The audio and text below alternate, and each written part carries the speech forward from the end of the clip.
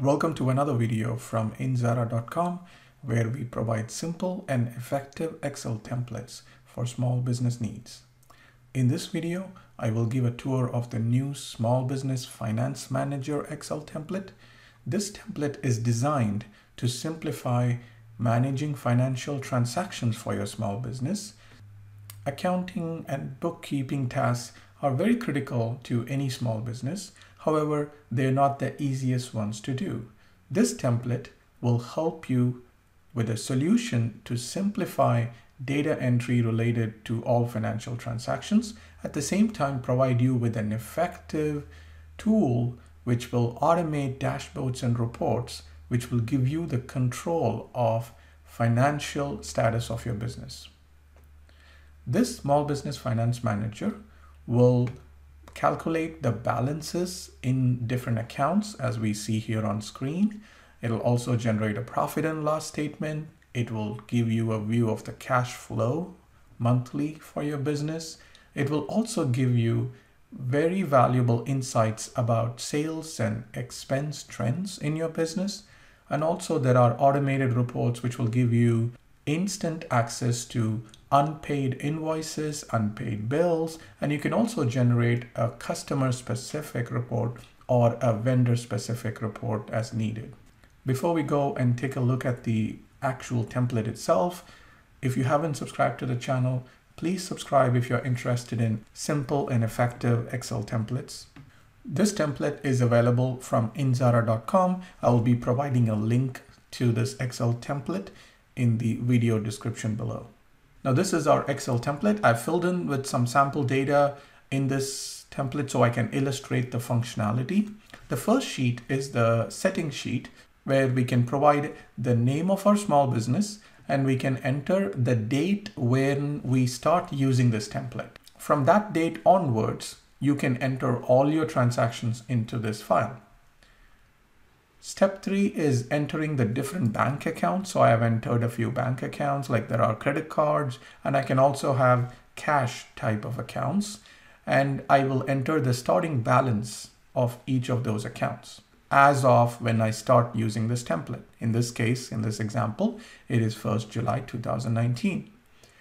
There are five categories of transactions. As you can see here, income, cost of sales, operating expense, transfer, and other.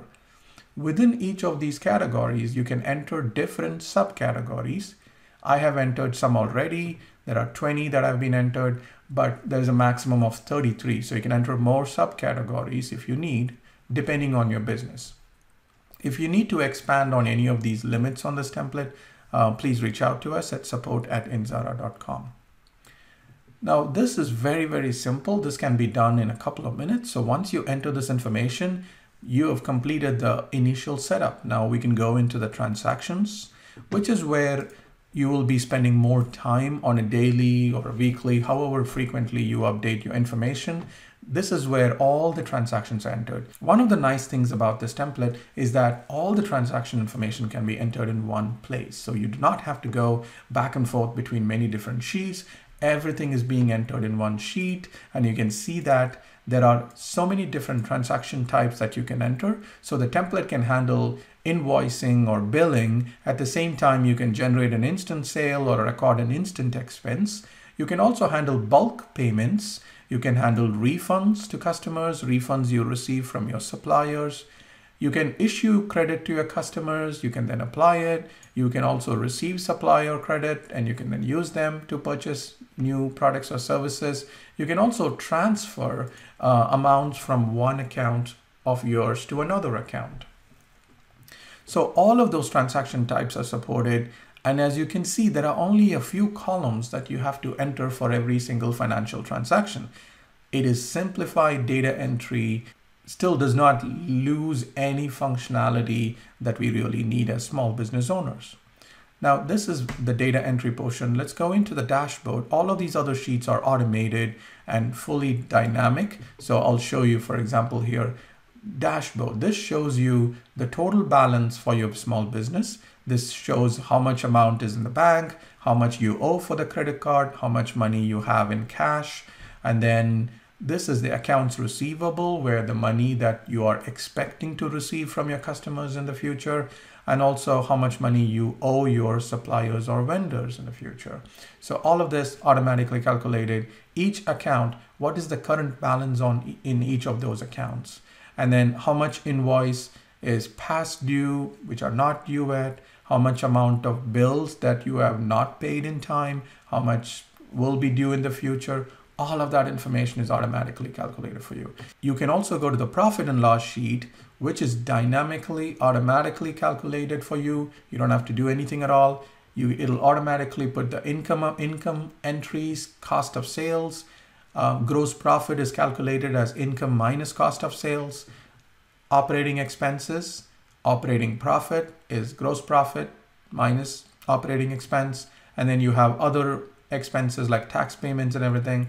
And then you have the final net profit for your business, which is operating profit minus other. Now you can you can see that monthly it calculates it. So March wasn't a great month.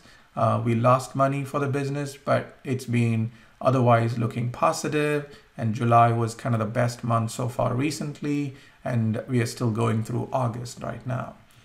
And so this is the profit and loss statement, which is generated automatically. You can also change the start date for your profit and loss statement. So instead of me starting from January 2020, if I wanted to start from September 2019, I just type that in and now you can see that I have 12 months of data beginning in September. And I could also change this to quarterly. So if I want to look at everything three months, um, then you can see that things are automatically getting updated. Um, and then you can also do yearly if you have multiple years of data. And then I can also change this chart to any of these metrics if I want to plot them um, in a chart so I can visually see the trend of my business. So this is a great um, automated profit and loss statement, which you can use um, for your accounting purposes. Um, and then the next sheet is the cash flow. So the cash flow the difference between the cash flow and the profit and loss is profit and loss is recording the transactions as they occur whenever you make a sale, whenever you generate an invoice, that is when it's recorded. But cash flow is tracking the actual movement of the cash. When the customer made a payment to you, when you made a payment to your suppliers, when the actual cash flow is happening, right? This is important because you can generate a lot of invoices, but your customers don't pay yet haven't paid yet, you haven't received the money. So there's no real cash flow. So it is imp equally important to know what is the cash flow status for your small business. And you can see here, um, we started using this template on January, July 1st, 2019 with a starting balance of this. And now money is coming in, money is going out. You can also do some transfers within accounts. Um, and then you have an ending balance. And you can see the month over month ending balance trend. You can also see the money in and money out trends by month. This is for all my accounts. I can also change this to say, show me for only one of my accounts, whether it's the savings or checking or PayPal, and I can do that. And now I can see the trend, the money in and out just for that account. And on the right side, you, you will see similar information, but you're looking at it in a table format instead of a chart. Um, so you're you know, welcome to use whichever one which is more convenient for your um, purposes. But you can go back and show all accounts if I want to see all the accounts. And so this is how easy it is to customize this to get the information you need to know about cash flow for all accounts or one account at a time. Now let's go into the insights. This is where you can get valuable insights about how your business is performing in terms of sales and expenses, right? So by default, you will see all the data that you've entered so far broken into sales, expenses, refunds to customers, and refunds to suppliers. So those are the four charts that you see here. You will see the monthly trend, so you can see how the sales is increasing or decreasing. Same thing with the expenses, whether it's increasing or decreasing. The um, you can also filter this by specific period of time. So I can just drag along. I only want to see this for these months. Then you saw that they got updated. I can unfilter so I can see all the months. And on the right side here is where you can see what is driving the sales. So in this case, I've entered like service revenue or product revenue, you know, what is driving more um, revenue to my business. Similarly, I can see top customers, which customers are driving the most revenue to my business.